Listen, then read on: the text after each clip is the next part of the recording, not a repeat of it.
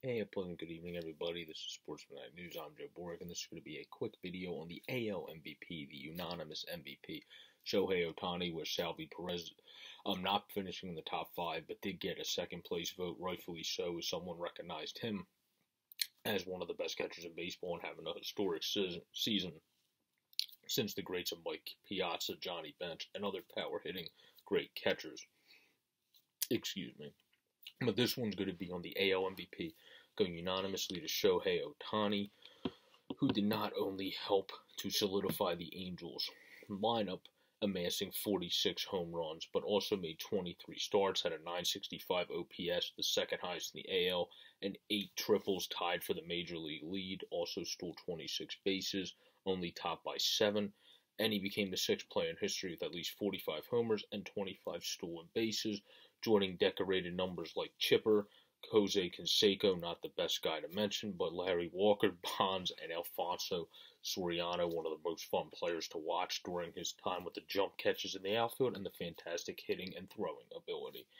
But none of these other players, obviously, as the great ESPN's um, Alden Gonzalez points out, um, could ever pitch and play like the Babe Ruth of our current generation.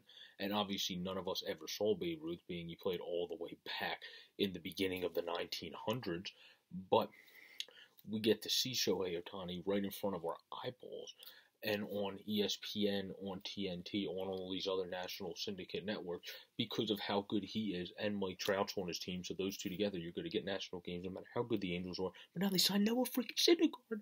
So next season, maybe they actually will get the Basins. Artie Moreno finally wised up and their GM finally wised up and they were able to get pitching and they already have a solid lineup. So smart jobs by them.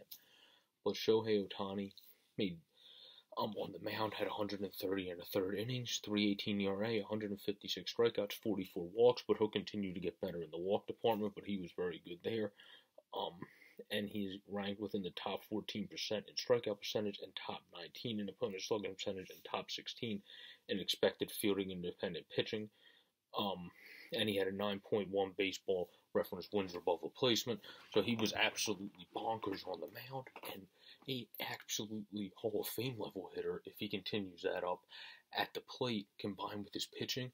This guy definitely, if he keeps this ridiculous bonkers play up, is on success streak to definitely be in Cooperstown, and also a success streak to be the Babe Ruth of our current generation, and somebody that you're always going to want your eyeballs featured on, no matter how good the Angels are. But the Angels added Noah Syndergaard; they got a great pitcher. They have more money to add maybe to the team around them, so this is an exciting time for Angels fans and an exciting time for baseball fans as a whole to just watch this absolutely unicorn of a talent in Shohei Ohtani pitch with the best of them and hit with the best of them. So hats off to him.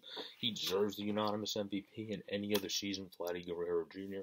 would deserve the MVP, but not this one, folks, because Shohei Ohtani pitches with the best of them and hits with the best of them, and he's going to get even better at both, and especially on the mound, 318 ERA, I don't think that's going to be damn near close once he harnesses his control even more to his best season. On the hill, he can maybe even have a future Cy Young on top of an MVP.